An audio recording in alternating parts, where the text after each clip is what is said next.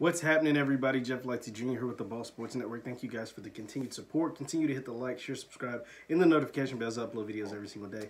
Now, we got ourselves a series. The Los Angeles Lakers, the Denver Nuggets are going head to head. Denver comes out with a game three win, 114 to 106. Why? Why did Denver win the game? Because from the get go, they played with desperation. They knew they couldn't go down 0 3. They, there's no coming back from 0 3, but you can't come back from 2 1. You can't come back from down one to two. And Jerami Grant, Jamal Murray, Nikola Jokic, they all came to play. Jerami Grant and Nikola Jokic, Jokic got things started. Jerami Grant kept it through for the first you know, three quarters, and Jamal Murray brought him home in the fourth quarter. Even though they had a 20-point lead and they saw it cut to three in the fourth quarter. That's just how the Lakers are a good team. The Lakers have great players. They're a good team, and they're going to make runs. And that's what happened. But Jamal Murray is an emerging, budding superstar in this league, and he showed it again because he can just simply make shots that aren't supposed to be made. You know, great defense, but even better offense more than more times than not for Jamal Murray. I mean, if you look at the Lakers and their stars, their, their stars have to play great for them to win, right? And Anthony Davis had 27 points. LeBron had a 30-point triple-double but Anthony Davis only had two rebounds. JaVale McGee and Dwight Howard and Anthony Davis combined only had four total rebounds. You're not going to win games like this when the Lakers are getting out rebounded 25 to 44. 25 to 44. Now they got back in the game because of some sloppy Denver play, some turnovers. And when the Lakers are on a fast break, LeBron James is the hardest person in the league to guard on a fast break. So that's how they were able to get back in the game after being down 20 in the third quarter and cutting the lead to three points in the fourth. So what does this mean moving forward? What happens? Well, Denver's right back in the series. The thing is, you want to say the Lakers, ah, they'll get rid of them in five, and I and I still think the Lakers will win this series. But you can't sleep on the Nuggets.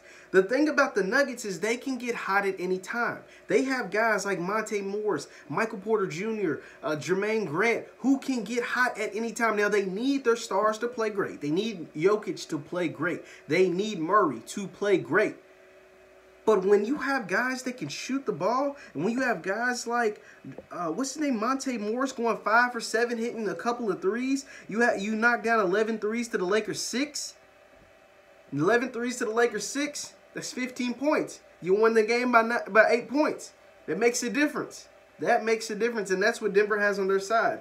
Uh, do I think Jerami Grant will have another game like this? or can have another three games like this. Because if he could, they could win the next. They could win three more games. I'm not so sure. I'm not sure if I believe in Jerami Grant giving me. How much did he have? Jerami Grant gave me 26.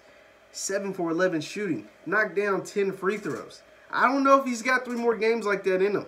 I don't know. I, have, I hadn't seen it through the first two games. I hadn't really seen it through all the, the entire playoff series. Like the entire playoffs in general. He hadn't given me 26 points. It's a playoff career high. He didn't give me nothing like that. But do I think Jamal Murray can give me 28 or even 38? Yeah, he can do that. Jokic, 22 and 11? Yeah, he can do that. So those are things that can be replicated. Uh, Monte Morris coming out making some big shots off the bench? Yeah, he can do that. So that's what the Lakers have to be worried about. But at the at the end of the day, it, it's all about LeBron James and Anthony Davis. Yeah, they had 27 and, and 30 points, but they didn't really play well. If you watch the game, you watch the game. These numbers sound amazing. 30 points, uh, 10 rebounds, 11 assists for LeBron, Anthony Davis, uh, 27 points. Like I said, he only had the two rebounds. That sounds okay if you look at a box score. But they never imposed their will, and they were always playing catch-up. The entire time, from the first quarter on, they were playing catch-up, catch-up, and they got they caught a break in the fourth quarter and was able to make a great run but they were never they never imposed their will like Anthony Davis was able to do in game. Well, Anthony Davis and LeBron both were able to do it in game one, and then Anthony Davis did it at the end of game two. But they never imposed their will in game three, and that's what can't happen. The Lakers have to impose their will on the Nuggets because this team will not die. This team is legit. This team is full of studs. This team is full of ballers. And they have to impose their will on the team to be able to put the series away. Let me know your thoughts on the series.